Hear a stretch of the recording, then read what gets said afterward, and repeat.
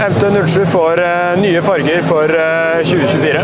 Dette er den oppdaterte cyanfargen med turkise felger. Eh, fargen er enda finere enn det den ser ut på bilder.